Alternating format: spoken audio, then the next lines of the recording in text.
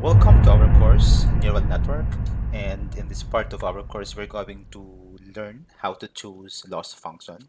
So this lesson is actually very important because this would um, give more value to the kind of output our model, neural network model will be producing.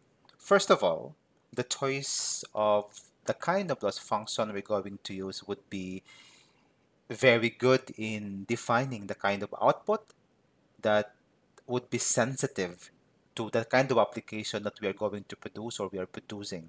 So here are some of the reasons why do we have to properly choose the kind of um, loss function uh, we're going to use for our neural network. So first of all, it actually it's actually very critical. It, it's a very critical decision. So as what I've said, um, it's very indispensable. It's a very indispensable part of the ingredient in making a very robust machine learning model. So that's what that's the very beginning of the plan of what kind of neural network to use. You have to properly identify the kind of loss function you're going to use. The second one would be the task sensitivity. Of course, different applications would require different way of um, attacking a certain problem when it comes to the kind of loss function to use. Your loss function would point out what kind of metric you're going to use so that you would be able to also measure the performance of the model. Next one is the task-specific of objectives. So this means to say that the kind of loss function would, would actually depend on what kind of task we're going to use. Is it regression? Is it binary classification? Is it another type of problem? Because of course regression has its own way of measuring its loss. In the case of binary classification, it also has its own way of measuring its loss. So later on, we, we are going to have more discussions about that. Next one is the influence on model behavior. This is actually very interesting because different applications would require different ways of measuring the performance of the model. And the kind of loss function that we are going to use would also quantify how well or how poorly this particular model is performing depending on a certain task that is at hand. And also, loss function would also tells you or would also tell you whether or not it's very robust to outliers or class imbalances or how resilient the model is with respect to the different um, changes in the behavior of our data that would come in. Of course, we have to expect that our data, the behavior of our data changes. So, for example, the, the behavior of persons, of our customers for this particular season is different from their behavior with respect to another season. But of course, um, the buying behavior would change, the fat would change, and so on and so forth. And also, as what I've said, um, the loss function would tell you if your training data is good or it is not. So when I say good, um, that would mean that the metrics would tell you that something is wrong with the way you prepare your data set with respect to the cleaning, for example, with respect to um, feature engineering.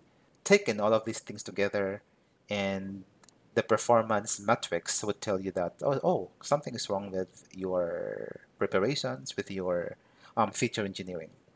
And the last one would be um, the choice of your loss function would affect or would tell you how well the model is um, in generalization, in um, taking into consideration the data that is not seen. So these are just some of the very important considerations that you have to properly think about when um, choosing the kind of loss function that you're going to use for your neural network. Let's have the case of regression. Of course, you know what regression is. So you have here y squared minus the y hat, and then we square the value. So this would actually, oh, this, this tells you actually the, the kind of loss or the difference between the actual value and the predicted value. So it means to say you're going to see the error. And this error would tell you how close your model is to the reality. And When the value is very high, then it would mean that your model is not uh, very close to reality. Of course, when it is uh, very minimal, then it would tell you that your model is very close to reality. And um, this is actually very important for you to be able to also understand whether or not your model is robust, your model is very good in generalization. So this is just actually a very simple squared loss that would tell you how good your regression model is. And actually, there are still a lot of um, loss functions that you can use for your regression model apart from this one. So you can use RMSE. You also have the R squared. So of course, each metric um, will tell you um, different insights as to how good your model is. Then we have binary classification. So this is actually very different from the regression because this would tell you that in this case, you're actually um, classifying things. By the word itself, it's a binary, so it means two. So for example, we have a hinge, a hinge loss, which can have a value of negative 1 or positive 1.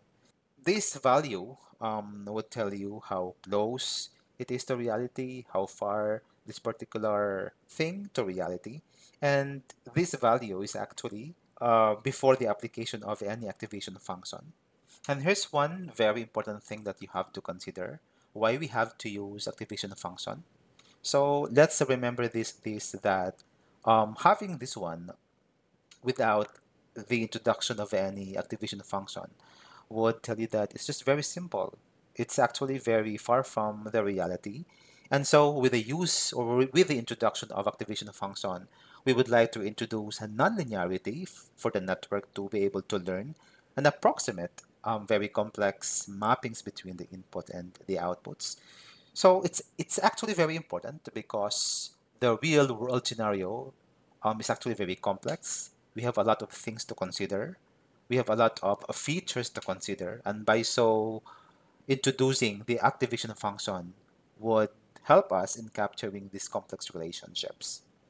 And so we have here, we have the hinge loss. So now it has the identity activation and this would tell you that it's actually minimizing the error. And now we have the case of multi-way prediction. So this is actually very different from the binary classification, which we just predict two options. But in this case, we have a multi-way predictions, three or four or more. So in this case, actually softmax output is particularly is very, very useful because um, it's probabilistic and it requires a different type of loss function. And of course, if you're going to use other kinds of loss function, um, softmax, of course, would not be useful in this case, and others would not be probabilistic. They can be deterministic.